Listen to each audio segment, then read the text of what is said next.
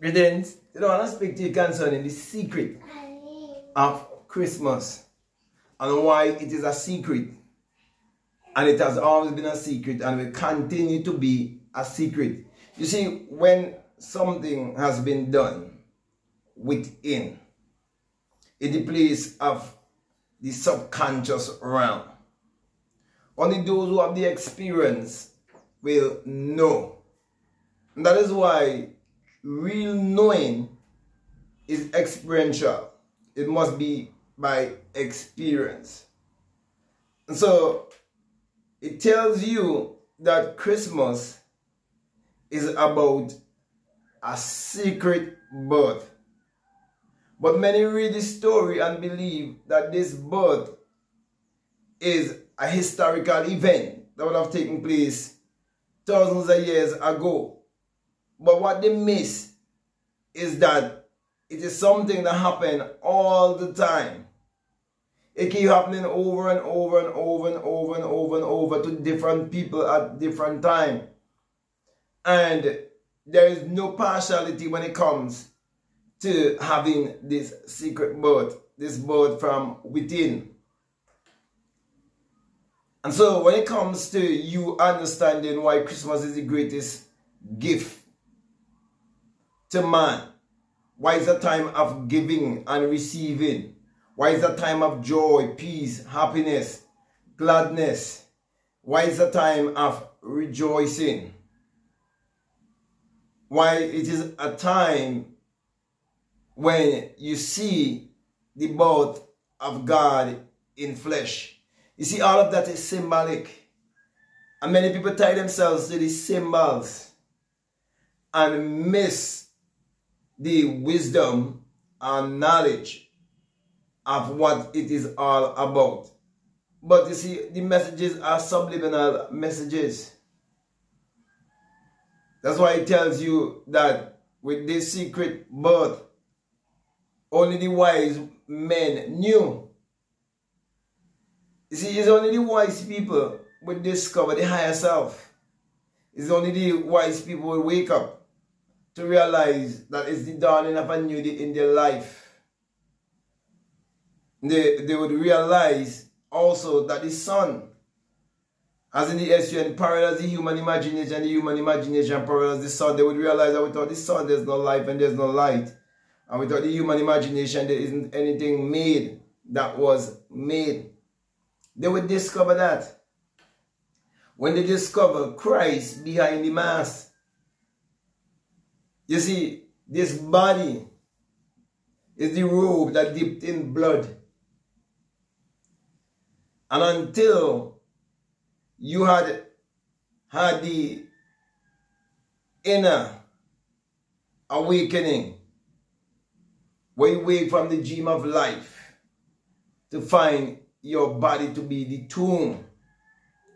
Unless you have that experience, you'll never know the secret of Christmas. That is why Christmas is an experience. It's not something that you try to commemorate year after year. It's a story of the greatest mystery that can never be known intellectually. It must only be known by experience. It's a story of how you discover your real identity is your divinity. It's a story where you will understand the journey of life it's from humanity to divinity. And when you come into your divine self, that's your Christmas. And you will always be in that Christmas spirit, that spirit of giving and receiving, that spirit of multiplying, that spirit of bringing life back again.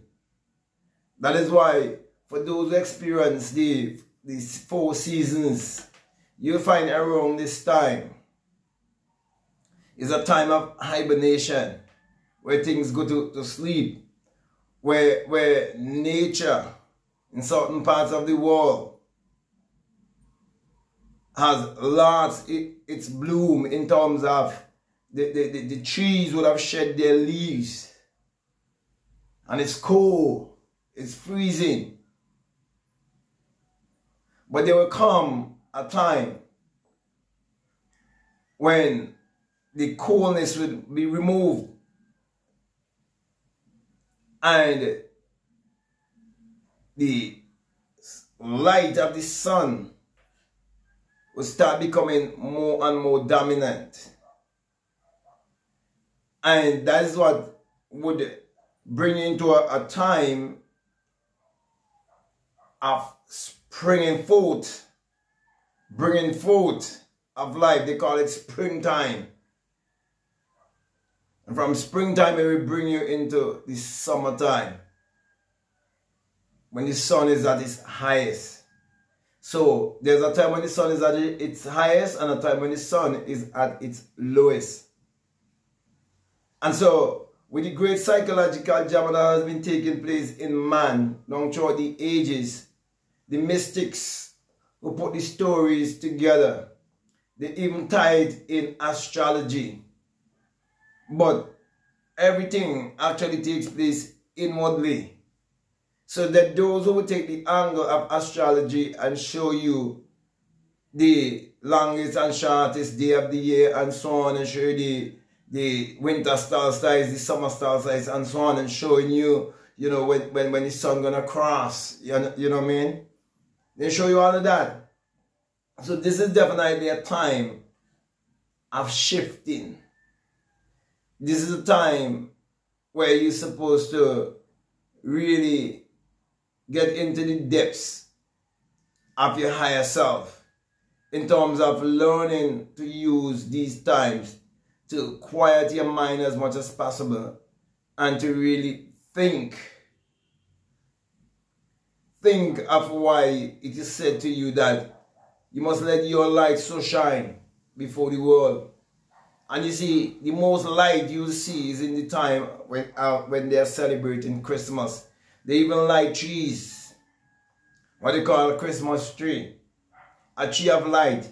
You are that tree of light. Everything represents you.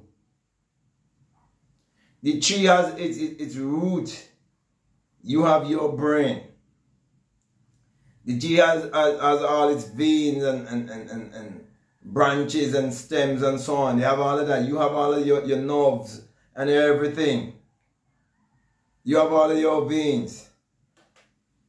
You, you, you, you, you, you have all the important organs of your body. So to it a tree.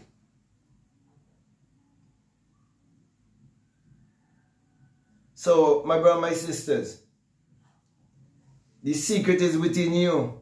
The secret of Christmas is lies within you. Christmas is a cosmic event. Not what people think it is. About the, people think it's all about drinking and celebrating and believe that there was a historical event that took place thousands of years ago and you're commemorating that. No. We are celebrating life on a higher level. So every year you talk about Christmas.